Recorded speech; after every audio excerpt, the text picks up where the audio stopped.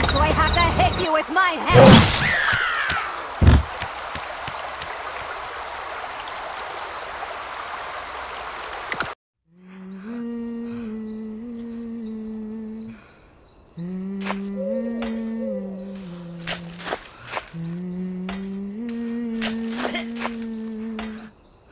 Mm-hmm.